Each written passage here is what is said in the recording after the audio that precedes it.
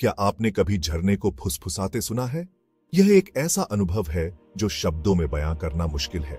जब आप एक झरने के पास खड़े होते हैं तो उसकी आवाज़ में एक अनोखी मिठास होती है, जैसे कि वह आपको कोई पुरानी कहानी सुना रहा हो। ऐसा लगता है जैसे हवा में कोई रहस्य बह रहा हो। यह रहस्य आपको अपनी ओर खींचता है, आपको उस अदृश्य धागे की ओर ले जाता है जो झरने की आवाज़ में बंधा होता है। जब मैंने पहली बार ब्लू नाइल फॉल्स के बारे में सुना तो मुझे ऐसा ही महसूस हुआ। यह झरना अपनी अद्वितीयता और भव्यता के लिए प्रसिद्ध है। इसके बारे में सुनते ही मेरे मन में एक अजीब सी उत्सुकता जाग उठी। लोग इसकी खूबसूरती के किस्से सुनाते थे। वे बताते थे कि कैसे यह झरना अपने चारों ओर की प्रकृति को जीवंत कर देता है। कैसे इसकी हर बूंद में एक कहानी छुपी होती है। वे इसकी शक्ति की कहानियाँ सुनाते थे। कहते थे कि जब आप इसके पास खड़े होते हैं तो उसकी गर्जना आपके दिल की धड़कन को तेज कर देती है। यह एक ऐसा अनुभव है जो आपको जीवन भर याद रहता है। मुझे पता था कि मुझे इसे खुद देखना होगा। मैंने तय किया कि मैं इस अद्भुत झरने की यात्रा पर जाऊँगा और उसकी फुसफुसाहट को खुद सुनूँगा। मेरा सफ़र प्लेन से शुरू हुआ। आसमान से नीचे देखते हुए मैंने सोचा कि यह यात्रा कितनी रोमांचक होगी। हरे भरे जंगल, ऊँचे पहाड़ और नीले आसमान के बीच से गुजरते हुए मैं अपने गंतव्य की ओर बढ़ रहा था। फिर एक उबड़ खाबड़ बस की सवारी। यह सवारी भी अपने आप में एक अनुभव थी। बस की खिड़की से बाहर देखते हुए मैंने देखा कि कैसे प्रकृति ने अपने रंग बिखेरे हुए थे। हर मोड़ पर एक नई तस्वीर, हर झटके पर एक नई कहानी। आखिरकार मैं एक धूल भरे रास्ते पर चल रहा था। यह रास्ता मुझे उस झरने की ओर ले जा रहा था, जिसकी फुसफुसाहट मैंने सुनी थी। हर कदम के साथ मैं उस रहस्य के ओर करीब आ रहा था। हर कदम मुझे फुसफुसाहट के करीब ला रहा था। झरने की आवाज़ अब साफ़ सुनाई देने लगी थी। उसकी गर्जना में एक अनोखी मिठास थी, जैसे कि वह मुझे अपनी ओर बुला रहा हो। मैं बहुत उत्साहित था। मेरे दिल की धड़कन तेज हो रही थी। जैसे जैसे मैं झरने के करीब पहुँच रहा था, उसकी फुसफुसाहट और भी स्पष्ट हो रही थी। यह एक रोमांच था। यह यात्रा सिर्फ़ एक झरने तक पहुँचने की नहीं थी, बल्कि एक आत्मा की खोज की यात्रा थी। उस झरने की फुसफुसाहट में मैंने अपनी आत्मा की आवाज़ सुनी। यह एक ऐसा अनुभव था जो मुझे जीवन भर याद रहेगा। ब्लू नाइल नदी इथियोपिया की एक बहुत बड़ी नदी है। यह नदी अफ्रीका की सबसे महत्वपूर्ण नदियों में से एक है और इसका ऐतिहासिक और सांस्कृतिक महत्व भी बहुत अधिक है। ब्लू नाइल नदी का स्रोत इथियोपिया के ताना झील से होता है और यह नदी सूडान में जाकर व्हाइट नाइल नदी से मिलती है। इस संगम के बाद यह नील नदी के नाम से जानी जाती है। जो दुनिया की सबसे लंबी नदी है। ये ज़मीन पर नीले रिबन की तरह है। जब आप इसे ऊपर से देखते हैं तो यह नदी एक नीले रिबन की तरह दिखती है, जो इथियोपिया के हरे भरे परिदृश्य के बीच से बहती है। यह दृश्य इतना मनमोहक है कि इसे देखकर आप मंत्र मुग्ध हो जाएँगे। ब्लू नाइल नदी का पानी साफ़ और शीतल होता है, जो इसे और भी आकर्षक बनाता है। ब्लू नाइल फॉल्स वह जगह है, जहाँ नदी अपनी ताकत दिखाती है। यह झरना इथियोपिया के सबसे प्रसिद्ध प्राकृतिक स्थलों में से एक है। ब्लू नाइल फॉल्स की ऊंचाई लगभग 45 मीटर है और यह झरना बहुत ही शक्तिशाली है। जब पानी ऊंचाई से नीचे गिरता है तो उसकी गर्जना दूर दूर तक सुनाई देती है। यह झरना देखने में जितना सुंदर है, उतना ही अद्भुत भी है। पानी ऊँची चट्टानों से नीचे गिरता है। यह दृश्य बहुत ही रोमांचक होता है। जब पानी चट्टानों से टकराता है तो उससे एक धुंध सी बनती है, जो चारों ओर फैल जाती है। यह धुंध सूरज की किरणों के साथ मिलकर एक इंद्रधनुष का निर्माण करती है, जो इस दृश्य को और भी मनमोहक बना देता है। यह बहुत ही सुंदर नज़ारा है, क्या आप जानते हैं? ब्लू नाइल फॉल्स को देखने के लिए हर साल हज़ारों पर्यटक यहाँ आते हैं। यह जगह न केवल अपनी प्राकृतिक सुंदरता के लिए प्रसिद्ध है, बल्कि यहाँ की जैव विविधता भी बहुत समृद्ध है। यहाँ के जंगलों में कई प्रकार के वन्य जीव और पक्षी पाए जाते हैं, जो इस क्षेत्र को और भी खास बनाते हैं। ब्लू नाइल फॉल्स को इथियोपिया में टिसबे कहते हैं। यह नाम अम्हारिक भाषा से लिया गया है, जो इथियोपिया की प्रमुख भाषा है। टिसबे का अर्थ है, धूम्रपान करने वाला पानी। यह नाम इस झरने की विशेषता को दर्शाता है, क्योंकि जब पानी ऊंचाई से गिरता है तो उससे धुंध सी बनती है, जो धुएँ जैसी दिखती है। इसका मतलब है, धूम्रपान करने वाला पानी। यह नाम इस झरने की विशेषता को बहुत ही सटीक रूप से वर्णित करता है। जब आप इस झरने को देखेंगे तो आपको लगेगा कि पानी धूम्रपान कर रहा है। यह दृश्य बहुत ही अद्भुत और आकर्षक होता है। यह झरना इतना शक्तिशाली है कि इससे एक धुंध सी बनती है जो धुएँ जैसी दिखती है।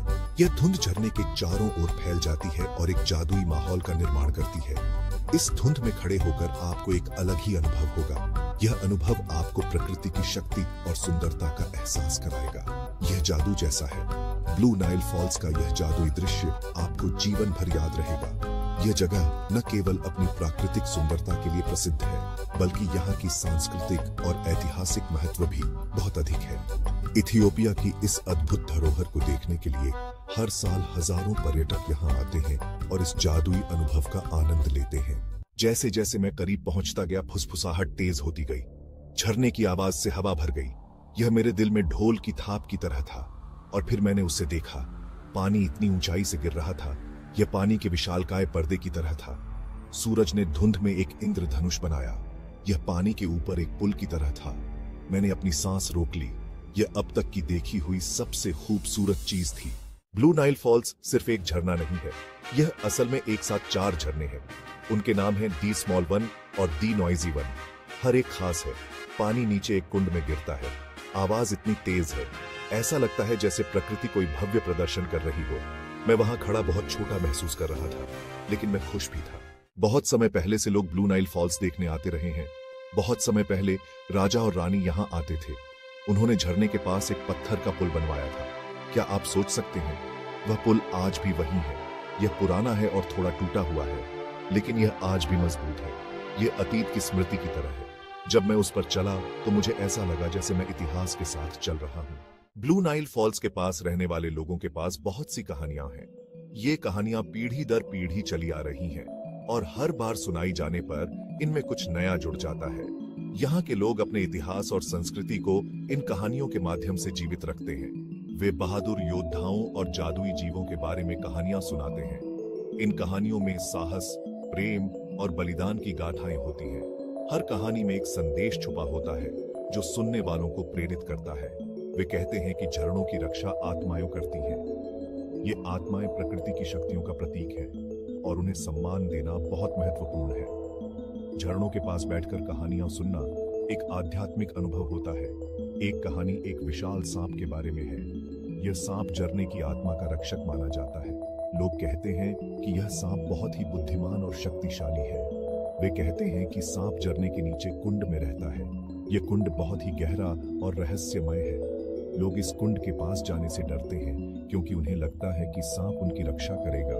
यह प्रकृति की शक्ति का सम्मान करने की याद दिलाता है। झरणों की गर्जना और उनकी शक्ति को देखकर लोग प्रकृति की महानता को समझते हैं। यह उन्हें विनम्र और कृतज्ञ बनाता है। मुझे नहीं पता कि कहानियाँ सच हैं या नहीं, लेकिन इन कहानियों में एक जादू है। जो सुनने वालों को बाँध लेता है।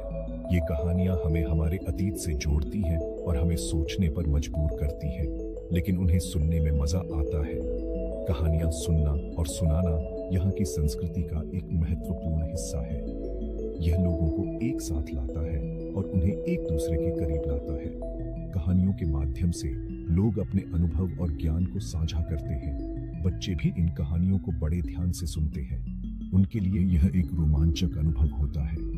वे इन कहानियों से बहुत कुछ सीखते हैं और अपने बुज़ुर्गों की बातों को ध्यान से सुनते हैं।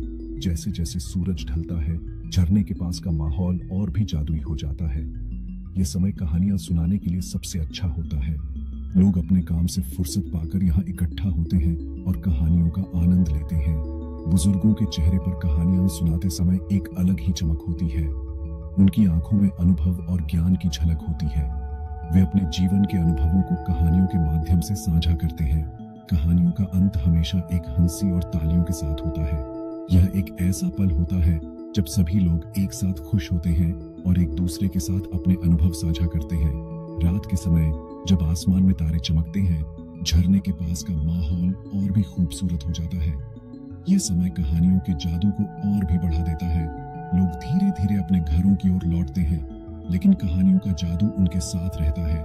वे इन कहानियों को अपने दिल में बसाए रखते हैं और अगली पीढ़ी को सुनाने के लिए तैयार रहते हैं। ब्लू नाइल फॉल्स की कहानियाँ सिर्फ़ कहानियाँ नहीं है। वे यहाँ के लोगों की आत्मा का हिस्सा है। ये कहानियाँ हमें याद दिलाती हैं कि हम सभी प्रकृति का एक हिस्सा है और हमें इसका सम्मान करना चाहिए। और इस तरह ब्लू नाइल फॉल्स के पास की कहानियाँ हमेशा जीवित रहेंगी, हमें प्रेरित करती रहेंगी और हमें हमारे अतीत से जोड़ती रहेंगी। ब्लू नाइल फॉल्स इथियोपिया के लोगों के लिए महत्वपूर्ण है। यह उनके इतिहास और उनकी संस्कृति का हिस्सा है। वे इसके बारे में गीत गाते हैं। वे इसकी तस्वीरें बनाते हैं। यह झरना उनके खेतों के लिए पानी भी देता है। यह उनकी फ़सलों को उगाने में मदद करता है। ऐसा लगता है जैसे ब्लू नाइल फॉल्स इथियोपिया का दिल है। यह भूमि और लोगों को जीवन देता है। ब्लू नाइल फॉल्स की मेरी यात्रा एक रोमांच थी, लेकिन यह खोज की यात्रा भी थी। मैंने एक नई जगह और एक नई संस्कृति के बारे में जाना। मैंने प्रकृति की शक्ति देखी। सबसे महत्वपूर्ण बात मैंने अपने बारे में जाना। मैंने सीखा कि मैं नई चीज़ों को आजमाने के लिए काफ़ी बहादुर हूँ। मैंने सीखा कि मैं छोटा हूँ, लेकिन दुनिया बहुत बड़ी है और आश्चर्यों से भरी है। ब्लू नाइल फॉल्स इस बात की याद दिलाता है कि प्रकृति शक्तिशाली है। हमें प्रकृति का सम्मान करना चाहिए और उसकी रक्षा करनी चाहिए। हमें इसे आने वाली पीढ़ियों के लिए साफ़ रखना चाहिए। हमें याद रखना चाहिए कि हम प्रकृति से अलग नहीं हैं। हम इसका एक हिस्सा है। जब हम प्रकृति की देखभाल करते हैं तो हम अपनी देखभाल करते हैं। जब मैं ब्लू नाइल फॉल्स से जा रहा था तो मैं थोड़ा उदास था, लेकिन मैं आभारी भी महसूस कर रहा था। मैंने वास्तव में कुछ अद्भुत देखा था। मुझे पता था कि मैं इसे कभी नहीं भूलूँगा। मैंने झरनों को अलविदा कहा। मुझे पता था कि मैं किसी दिन वापस आऊँगा। ब्लू नाइल फॉल्स ने मेरे दिल का एक टुकड़ा अपने कब्जे में ले लिया था, और मुझे पता था कि मैं इसका जादू हमेशा अपने साथ रखूँगा।